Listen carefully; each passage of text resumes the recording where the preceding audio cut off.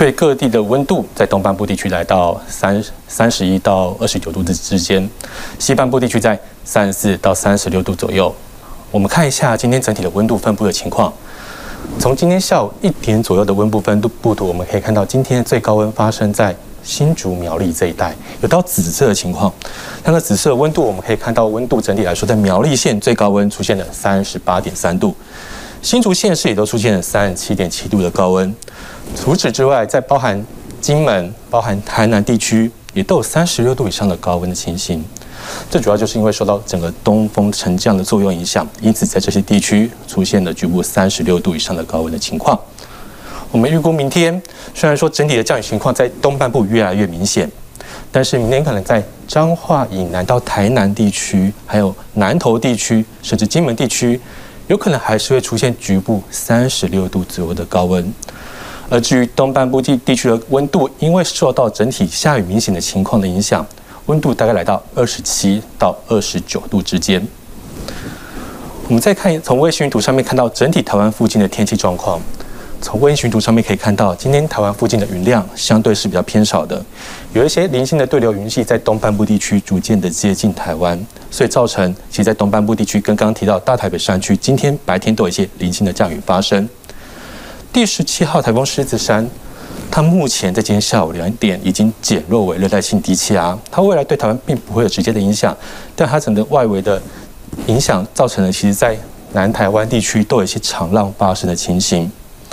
而至于第十八号台风圆规，我们看到这一大片的云系，就是整个围呃圆规的外围云系，它整体的中心在这个地方附近，而在这个地方。其实它有很多的中心在这边互绕，代表它目前的结构来说还在重整，还在逐渐的增强。从云图上面我可以看到，北边比较厚实的云系跟南边比较厚实的云系都是强对流的地方。我们预估这个圆规台风未来还是会在持续增强，而且它强结构还在重整当中。未来它持续向西北的方向转西的方向，逐渐通过我们的巴士海峡。十一号的位置会来到吕宋岛。东北边的近海，十二号的位置来到吕宋岛西北边的近海，在十一号到十二号离台湾相对来说是最接近的时候。那由于在最接近的过程当中，气象局如果这样路径它维持不变的话，我们预估最快可能在今天晚上就会针对巴士海峡发布海上台风警报。我们要提醒，目前现在目看起来陆上台风警报的机会还没有全部排除，但是。即便它未来是以海上台风警报来发布而已，我们还是要特别注意它所带来的强风、豪雨跟浪很大的情况。这主要就是因为在这个季节来说，台风在通过的过程，北边有一个高压在通过，这边台湾附近它的外围环流跟东北风造成，其实包含在台湾海峡还有台湾附近的浪跟风也都会特别的强。特别十一、十二号最近的过程当中。它到时候的东风会对整个东半部地区还有北部山区也带来比较明显的降雨。我们再看一下今天出现强风的部分，在图上出现黄色跟这橘色部分，代表今天有阵风到八到九级的地方。从这些地区我们也可以看到，包含像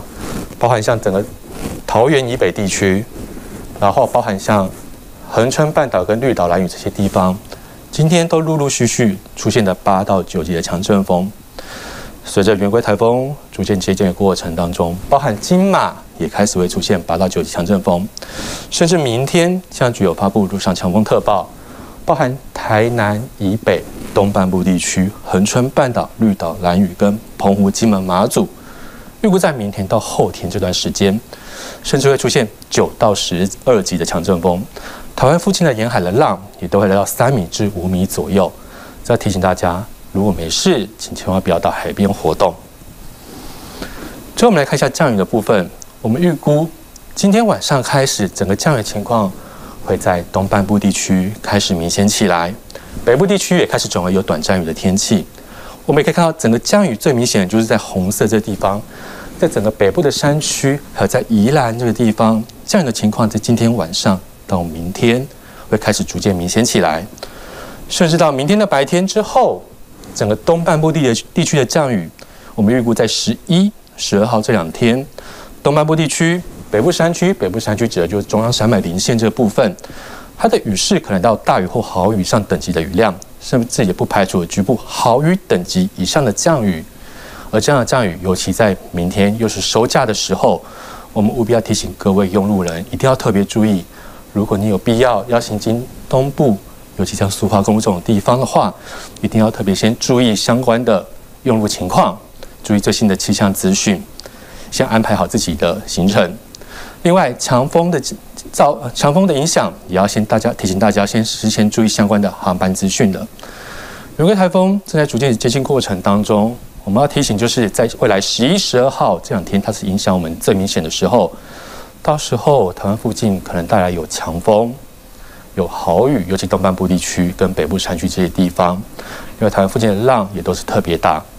大家一定要务必做好防台的准备。以上是小的最新气象资讯。掌握全球情势、国际新闻，全新选择 YT 频道 TVBS 国际 Plus，扩大视野。欢迎订阅并开启小铃铛。